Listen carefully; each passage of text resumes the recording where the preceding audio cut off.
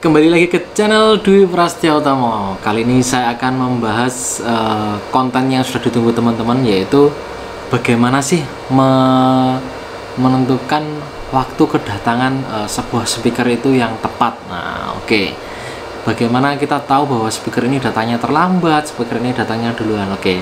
Tentunya ini akan sangat menarik untuk dibahas. Jadi sebelum kita bahas lebih lanjut, jangan lupa yang belum subscribe ke channel saya. Silahkan subscribe channel saya di Dwi Prastia Utomo. Nanti jangan lupa teman-teman nyalakan loncengnya supaya nanti ketika saya mengupload video terbaru teman-teman mendapatkan notifikasinya oke? Saya sudah membuat playlist yaitu di channel saya Dwi Prastia Utomo. Silahkan teman-teman nanti cari di tutorial lengkap mengenai smart life. Nah nanti semuanya akan saya bahas di sini oke? Untuk itu uh, saya akan menjelaskan mengenai tahapan Pertama, apa yang harus dipertimbangkan untuk mengukur sebuah smart life? Oke, sebelum menonton video ini, pastikan teman-teman sudah uh, menonton video sebelumnya yaitu mengenai uh, menentukan sebuah titik crossover itu uh, penting untuk teman-teman lihat dulu supaya nanti teman-teman uh, tidak bingung uh, bagaimana uh, kok sudah tiba-tiba mendapatkan uh, cross point segini. Nah, karena ini kan videonya berkelanjutan ya teman-teman supaya teman-teman bisa paham dan nah, nanti tidak terjadi kebingungan. Oke yang pertama apa sih yang harus kita perhatikan ketika ketika mengukur smart life itu apa yang harus pertama kita perhatikan? Oke kalau saya, saya pribadi yang pertama saya jas itu adalah uh, speaker itu mampunya dibunyi di berapa nah itu lebih tepatnya saya uh, saya lebih tepatnya saya untuk menentukan cross point. Nah, bagaimana saya menentukan cross point? Silahkan teman-teman simak video berikutnya, uh, video sebelumnya, yaitu mengenai menentukan titik crossover. Nah, di situ nanti kita sudah tahu. Kita uh, yang di video kemarin kita sudah menentukan titik crossovernya. Sekarang kita tinggal memasukkan dan menentukan waktu kedatangannya saya. Oke, pertama menentukan titik crossover. Karena video kemarin sudah saya bahas. Nah, sebaiknya uh, saya pesankan untuk menentukan titik crossover yaitu ketika mengejaskan itu kan crossovernya dibuka lebar ya atau belum di crossover. Jadi volumenya jangan terlalu kencang seperti itu supaya tidak putus speakernya oke. Itu tahap pertama setelah itu sudah tahu cross pointnya titiknya berapa sudah kita catat kemarin nah kita sudah tahu ya. Jadi di laptop saya ini kan sudah muncul yang kemarin ada 4W, HPF, LPF nya dan uh, perpotongannya yang berapa yang kita pakai. Oke yang pertama kita pakai kita menggunakan language relay atau LR24 dulu. Karena ini yang sudah standar dan mudah untuk dihubungkan. Dan ini sudah mayoritas produk-produk luar negeri itu sudah juga menggunakan language relay 24 oke karena mudah untuk di eh, kita untuk me, apa ya mengetahui fasanya itu betul apa salah atau terbalik atau tidaknya nanti kita uh, sangat mudah untuk mengetahuinya. Oke pertama yang kita lakukan oke kita bisa melihat ya yang apa screenshot saya kemarin sudah ada high ini midnya ini low-nya ada subwoofernya. Oke. Teman-teman sudah tahu yang kemarin sudah saya bahas mengenai ini dan saya hanya mendelay finder sekedarnya tidak saya koreksi delay findernya karena hanya untuk mencari uh, apa namanya frekuensi respon saja.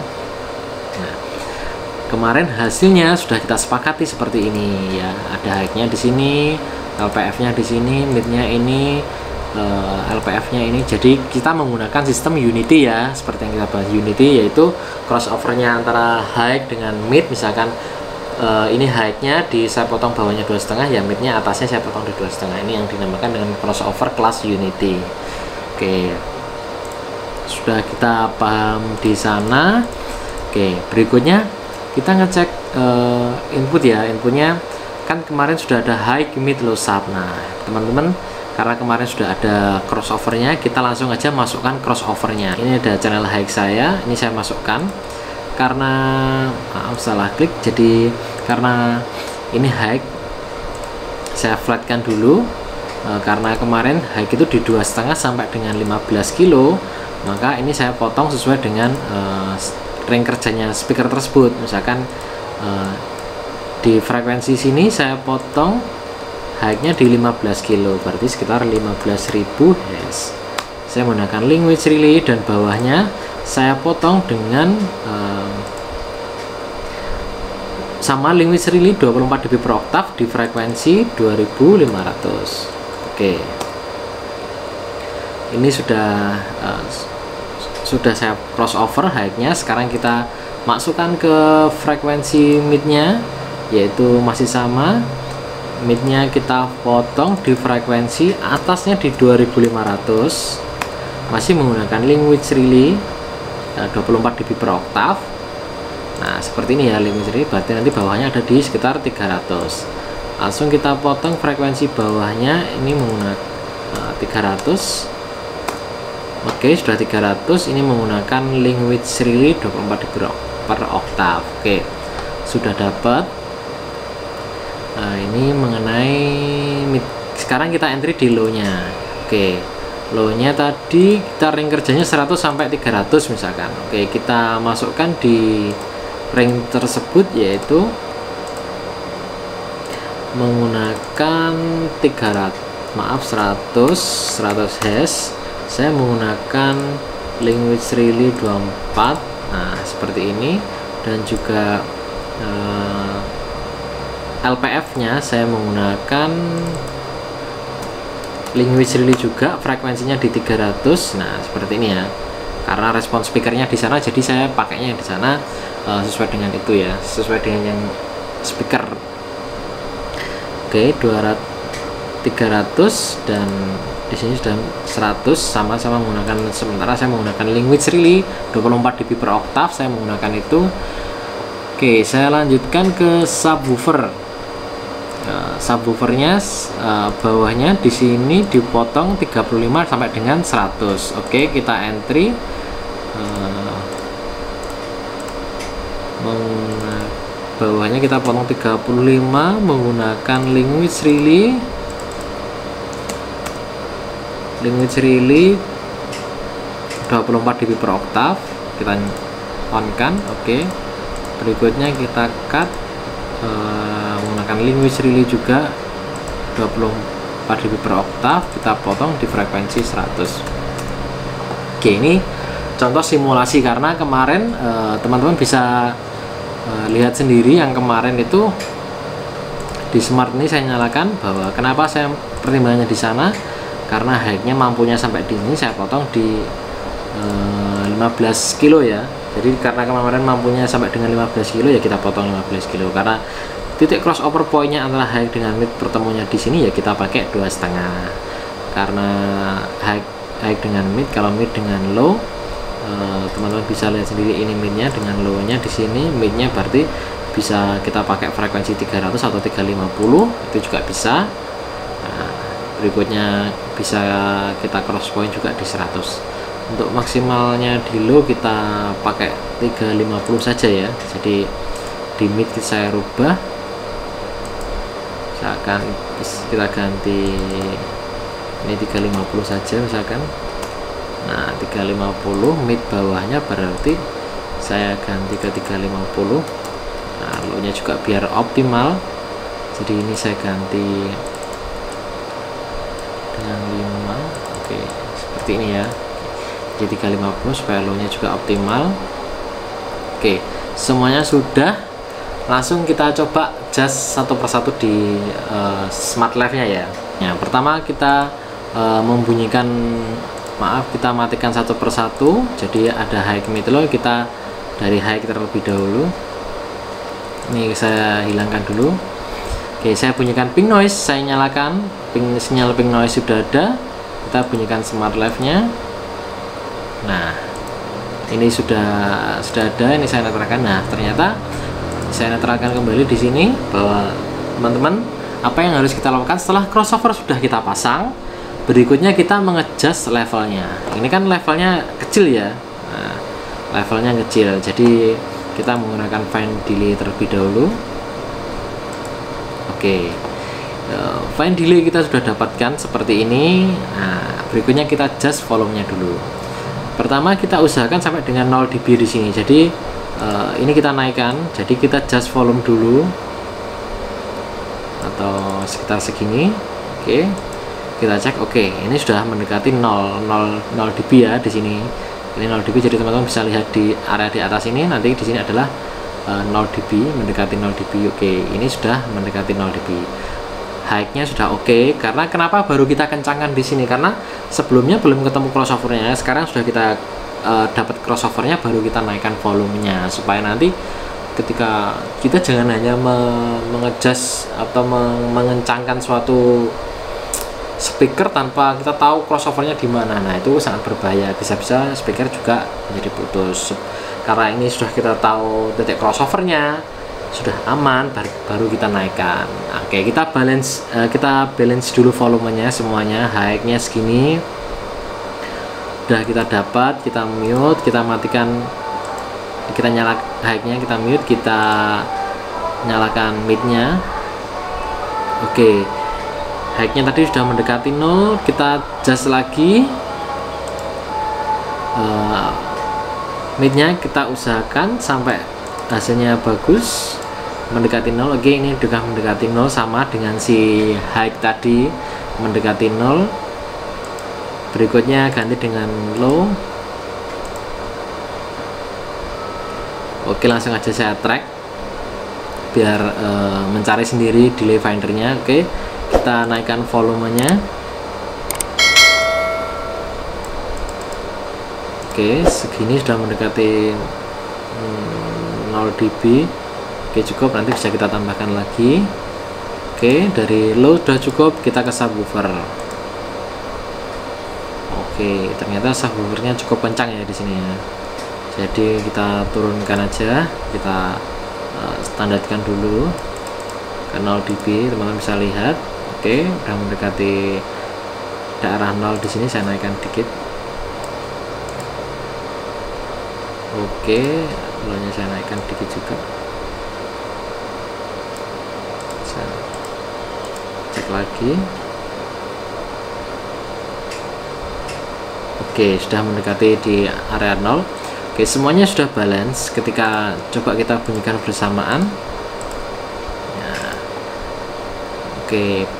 Nah, ketika dibunyikan bersamaan mulai ah, terjadi cancel-cancel seperti itu ya di beberapa titik. Nah, kenapa penyebabnya ini? Oke, teman-teman, kita bedah satu persatu. Nah, delay tadi sudah kita dapatkan. Ya, ini yang terjadi. Nah, beberapa titik terjadi cancel dan fasanya tidak bisa dibaca dengan baik kita mencarinya satu persatu teman-teman. Jadi begini kita mute dulu. Uh, kalau berarti tahap kedua crossover udah betul.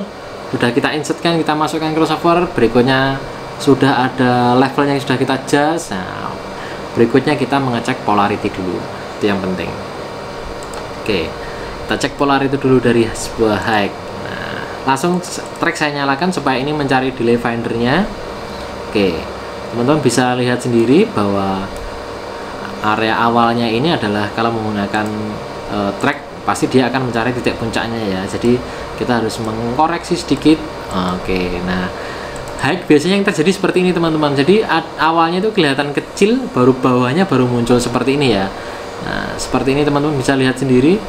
Awalnya kecil nanti kalau kita coba geser nah kita kadang bisa ketipu dengan uh, apa namanya high ini. Karena kadang-kadang high-nya yang awalnya itu tidak kelihatan. Nah yang betul kita cek nah harusnya mendekati nol ya seperti ini. Nah bagaimana tahu nolnya? Oke.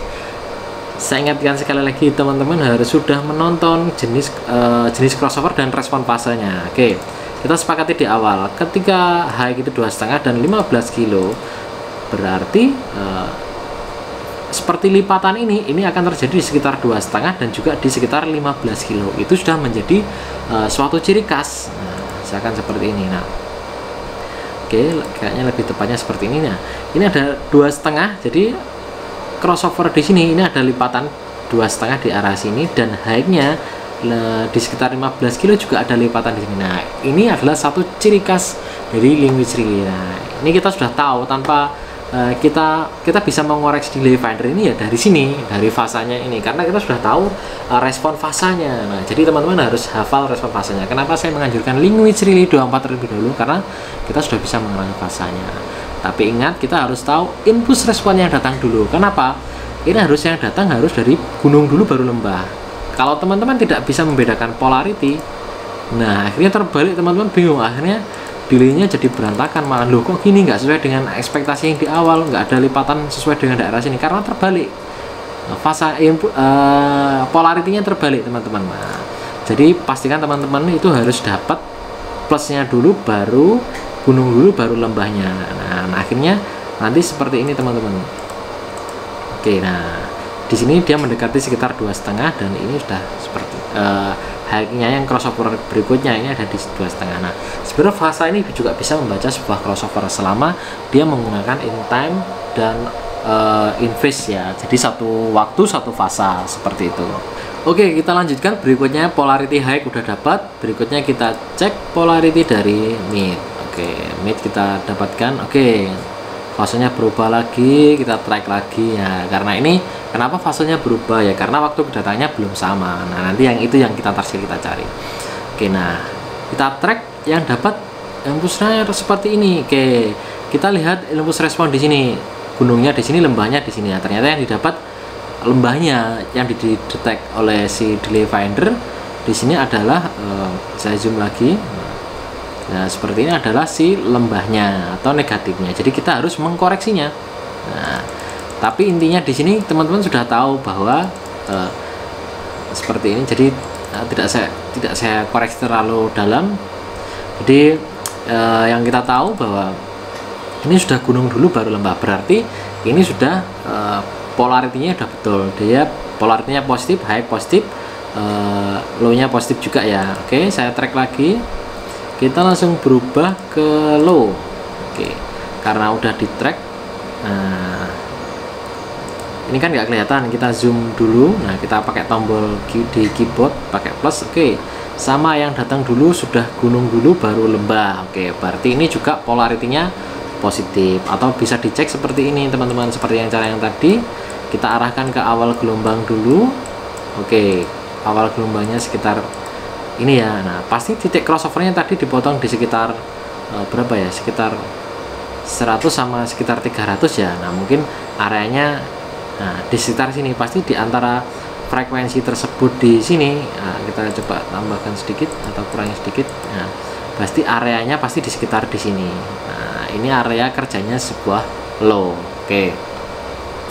Berikutnya kita cek di udah tahu ini positif berikutnya kita kita cek polarity di subwoofer. Atau teman-teman kalau punya cek pas jadi ya cek pas aja nggak apa-apa. Tapi kalau teman-teman nggak nggak punya cek pas nah, bisa pakai ini. Solusinya seperti itu ya teman-teman.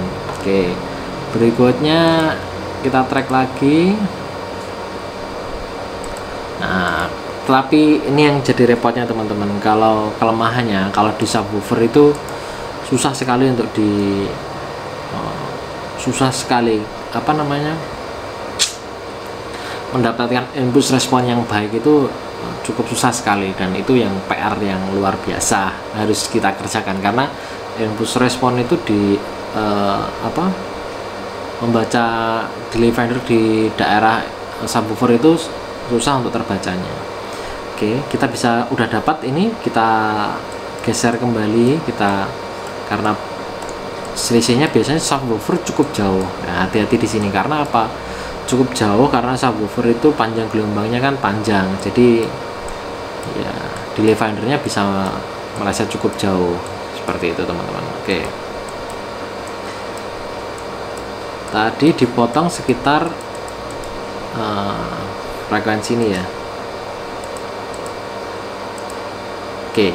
Di sini teman-teman bisa lihat sini jadi uh, crossovernya berarti ini adalah dirinya ini awal gelombangnya subwoofer. Nah seperti ini udah positif juga berarti clear.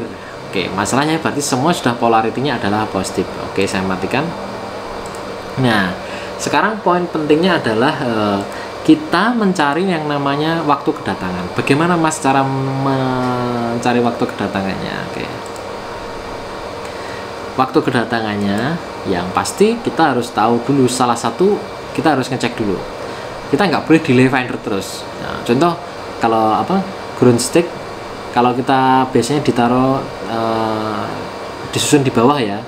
Jadi teman-teman kalau disusun di bawah bisa dari subwoofernya dulu karena kalau bisa teman-teman cari subwoofernya dulu baru high mid uh, apa namanya low mid high-nya. Kenapa demikian? Karena uh, kalau mencari low itu sub itu susah. Jadi menurut saya dicari terlebih dahulu. High mid itu ketahuan. Kalau nanti teman-teman sudah nyari high dapat mid uh, low subnya nanti justru kesulitan. Kita cari yang sulit dulu dulu. Karena ini saya uh, ibaratkan karena saya menggunakan line array yang pasti subwoofer kan bisa bisa di depannya bisa geser lagi ke nah itu kan sangat berubah. Jadi kalau line array pasti saya low terlebih dahulu. Nah, seperti itu. Kalau di bawah saya pasti ngejasnya yang subwoofer dulu langsung kita cari delay findernya dulu ya teman-teman low nya ya ini yang harus dikoreksi dari awal. Oke nah, kita cek di sini teman-teman. Nah, kita sudah tahu sendiri bahwa yang dibaca oleh smart life ini adalah lembahnya jadi kita betulkan terlebih dahulu delay findernya kita koreksi.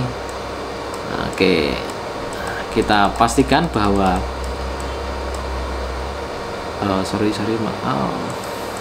kita koreksi lagi ini terlalu oke. Ciri khasnya yaitu ketika kita memotong di frekuensi misalkan 100 ataupun di sini sekitar 350 nah lipatan ini pasti biasanya berada di uh, sekitar uh, sekitar situ teman-teman. Jadi ini yang dinamakan waktu kedatangannya pasti uh, mendekati mendekati apa? Mendekati area crossovernya yang lipatan ini. Misalkan saya taruh di 350 ya harusnya ini mendekati area itu. Nah, seperti itu nah ini saya simulasikan seperti ini berarti kita sudah dapat delaynya sekitar enam setengah ya teman-teman. Oke. Ini kita perhatikan berarti ini kita low. Oke. Kita simpan kita screenshot ini low nya udah dapat. Berikutnya kita cari yang namanya mid. Oke. Low saya matikan midnya saya nyalakan. Oke. Teman-teman perhatikan di sini. Ketika ini saya kecilkan seperti ini yang terjadi ternyata uh, midnya justru datang duluan. Oke berarti nanti midnya ini perlu untuk dimundurkan ke belakang. Oke berarti midnya segini. Kita tahan dulu berarti kita sudah tahu. Berarti yang paling datang terakhir antara low dengan mid kita sudah tahu bahwa low nya yang datang duluan. Oke kita sudah tahu. Kita cek high nya dulu. Nah ternyata masih sama. Berarti kalau ini kita cek di sini kan kita zoom ini titik putihnya di sini saya perbesar gini. Ternyata bahwa high-nya juga masih datang duluan. Ternyata low-nya datangnya terlambat. Oke berarti kalau kita sudah tahu yang terlambat datang antara high mid low itu adalah low-nya. Nah maka yang dipakai acuan itu yang belakang datangnya belakang sendiri. Oke. Karena kita sudah tahu yang datang belakang sendiri berarti ya kita sudah tahu nggak perlu kita merubah delay finder jadi jangan dirubah teman-teman. Justru kita harus memundurkan high dengan midnya supaya datangnya bisa bersamaan. Karena kalau dilihat dari sini ternyata mid sama high-nya datang duluan dan low-nya uh, apa namanya uh, low-nya sudah paling belakang. Jadi yang diacu yang dipakai acuan yang belakang. Kita tinggal uh, menggeser delaynya sebuah mid saja. Nah seperti itu. Misalkan kalau udah nanti tinggal kita menambahkan delaynya saja. Oke sebagai contoh seperti ini ya. Langsung saya contohkan di sini. Saya menggunakan uh, oke saya jalankan yang midnya dulu. Saya saya delay ya. Oke ini saya kecilkan gini supaya teman-teman juga tahu. Nah berarti tinggal kita delay. Misalkan kita tambahkan sekitar delaynya 0,5 mili. Nah, teman-teman bisa tahu. Sebenarnya kalau di smart ini sudah tahu teman-teman. Nah, karena ini tadi kita sudah menggunakan 0,5 maka di sini menjadi 0,5 ketika di sini kita geser di sini di sini ada tulisannya minus berapa ya nanti? Nah inilah delaynya berarti kurang lebih sekitar satu setengah delaynya oke kita di smart life ini udah tahu. Langsung aja kita nggak perlu ngitung lagi. Nah, langsung kita tambahkan satu. Kita tambahkan dengan satu setengah. Oke kurang lebih uh, hasilnya akan seperti ini dan teman-teman bisa lihat sendiri ini udah betul kan. Nah, itu triknya teman-teman mencari yang namanya uh, waktu kedatangan. Akhirnya teman-teman waktu ininya sama ya. Jadi kita capture dengan mid. Oh, sorry sorry. Kita capture dengan mid seperti ini. Nah, ini mid dengan uh, dengan uh, ini sudah bergabung mid dengan low-nya udah uh, waktu kedatangannya bersama udah ber, udah jadi satu. Nah berikutnya kita bahas di mid. Udah oke okay. kita sekarang ganti high nya ya. Tadi udah screenshot belum ya? Udah oke. Okay. berikutnya kita ini di di high nya ya. Oke. Ini saya turunkan sedikit biar kelihatan frekuensinya. Oke ini sama high-nya juga datang duluan. Berarti kita delay berapa? Tinggal kita cek di sini. Uh, oke okay, delaynya sekitar 0,5 ini waktu kedatangannya. Jadi teman-teman nggak usah ngitung. Teman uh, teman-teman tinggal menambahkan oke okay, saya tambahkan 0,5 milisecond. Uh, oke okay, nah seperti ini teman-teman. Nah high mid low ini sudah kita delay dan waktu kedatangannya sudah sama. Jadi kalau kita saya screenshot high. Oh sorry sorry. Saya screen sini high. Oke. Okay. udah dapat kita hentikan RTA nya dulu. Nah di sini kita sudah dapat low low mid ini high. Nah di sini teman-teman oke. Okay. coba kita karena waktu kedatangannya sudah sama tingkat kemiringannya sudah sama kita coba menghubungkan ya teman-teman. Oke. okay. Sekarang kita cek fasanya di sini ya. Ada yang mau berhimpitan nah seperti ini. Oke. Kita sudah uh, sudah mendekati waktu kedatangannya sudah betul. Nah nanti tinggal kita mengejas me, uh, tinggal kita mengejas apakah hasilnya bisa summing atau tidak. Seperti itu teman nah ini trik cara menentukan waktu kedatangannya. Oke. Tadi ketiganya kita sudah cari uh, waktu kedatangannya sudah sesuai jadi antara high mid low sudah sesuai. Nah kita coba kita hubungan antara high mid dengan low jadinya seperti apa ya? Oke kita tambahkan mid low kita tambahkan. Nah jadi line array kita ini sudah bekerja dari low mid high ini sudah dengan summing dengan sempurna oke? Jadi ini dengan tahap ini waktu kedatangan kita sudah cocok dan sesuai akhirnya ini yang disebut dengan in time di sewaktu dan satu fase ya seperti ini teman-teman. Ini contohnya mengeset waktu kedatangan menggunakan uh, waktu kedatangannya sudah sesuai sehingga uh, crossovernya ini menjadi sewaktu dan uh, satu fase. Oke? Seperti itu teman-teman. Sampai di sini dulu supaya videonya tidak panjang. Silakan teman-teman yang masih kebingungan menentukan waktu kedatangan silahkan teman-teman bisa praktekkan seperti itu untuk cara mencarinya. Nanti untuk mensampingkan dengan subwoofer juga sama oke? Semoga teman-teman bisa mengambil maksud dari video ini. Teman-teman bisa mempraktekannya sendiri dengan smart lab. Bagaimana cara mencari waktu kedatangan sebuah speaker oke? Untuk itu jangan lupa subscribe channel ini dan juga like video ini bagikan video ini. Jangan lupa komentar di bawah. Uh, menurut teman-teman bagaimana seperti itu oke? Terima kasih sampai jumpa Jangan lupa subscribe.